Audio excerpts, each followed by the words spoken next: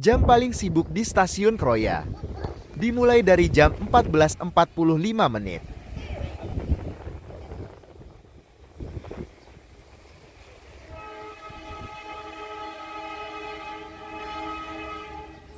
Dimulai dari kedatangan KAK Mandaka.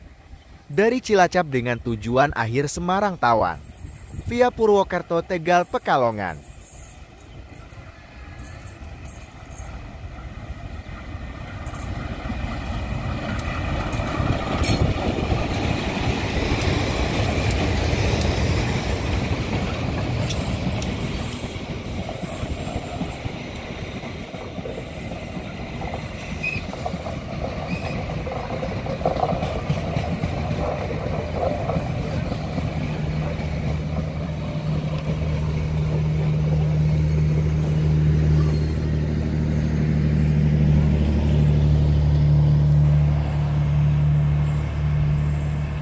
Saat bersamaan, diberangkatkan juga KA Argo Semeru dari Surabaya Gubeng dengan tujuan akhir Jakarta Gambir via Madiun Yogyakarta Purwokerto Cirebon.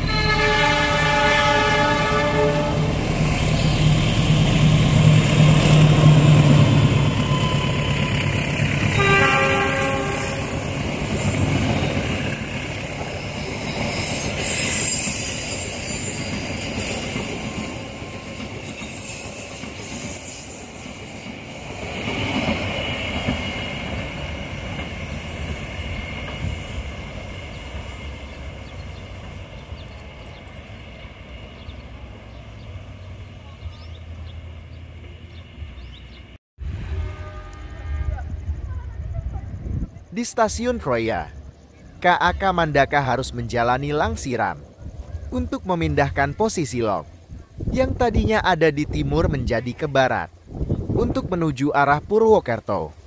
Proses ini terjadi jam 14.55 menit.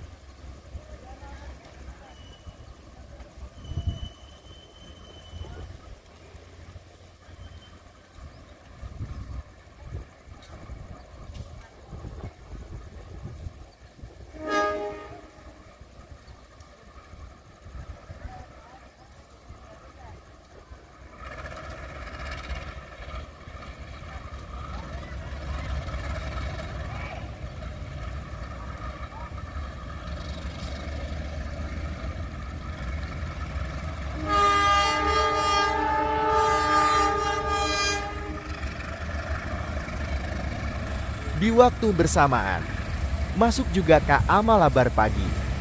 Dari Bandung dengan tujuan akhir Malang, via Yogyakarta Madiun Kediri Blitar. Di sini terlihat seperti KA Malabar sedang mencoba membalap gerakan langsiran.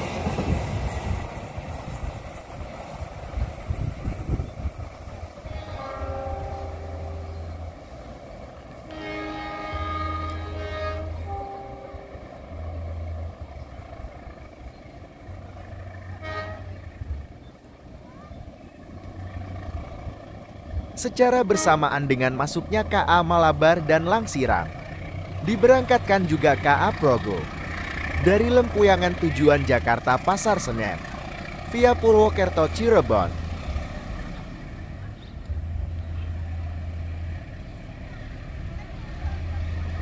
Masinisnya baik nih, menyapa dengan dim lampu.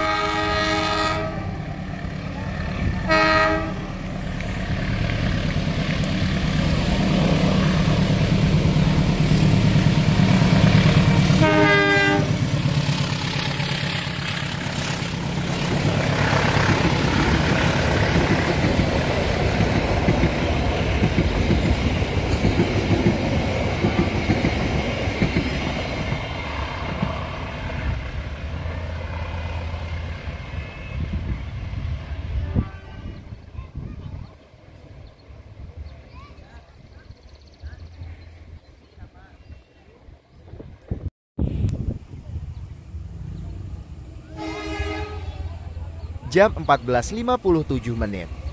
Masuk ke Akuto Jaya Utara. Dari Jakarta Kota dengan tujuan akhir Kutoarjo. Via Cirebon Purwokerto.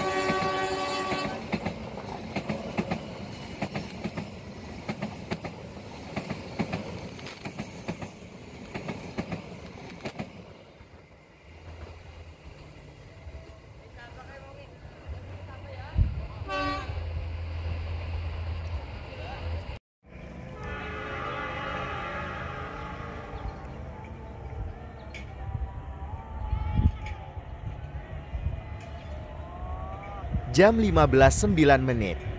Masuk KA Ketel. Dari Maus dengan tujuan akhir larangan, Tega. Via Purwokerto Slawi.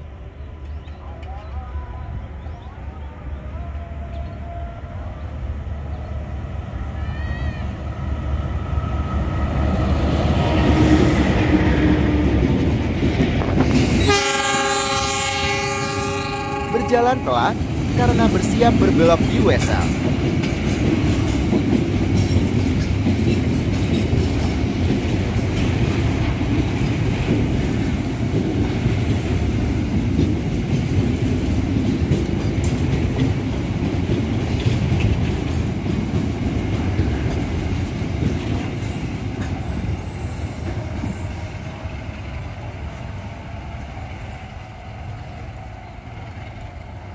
Melihat Liok dan masuk jalur 5 stasiun Kroya.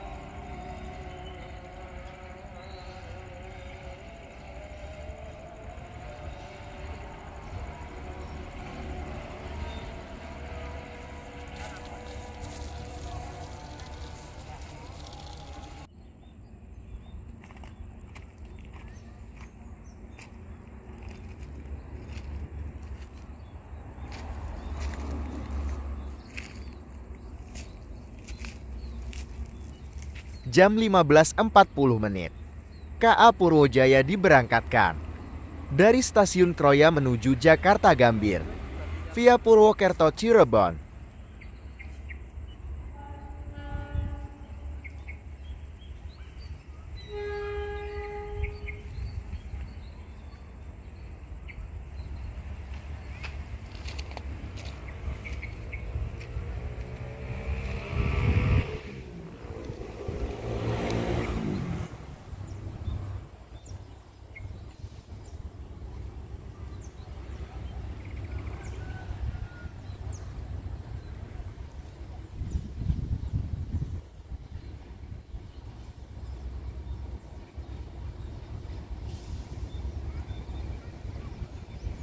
Di samping saya masuk ke Amanahan yang tertahan sinyal karena jalurnya sedang tertutup oleh KA Purwojaya.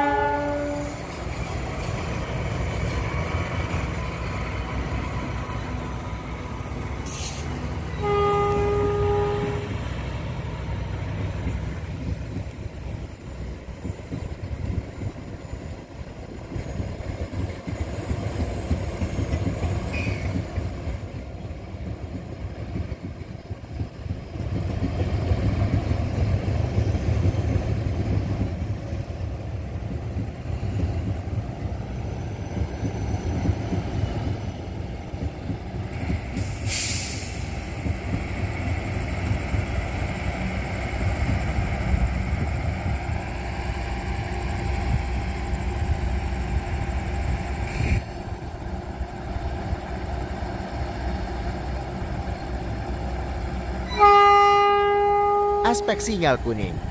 Keamanan dari Jakarta Gambir dengan tujuan akhir Solo Balapan. Melanjutkan perjalanannya kembali.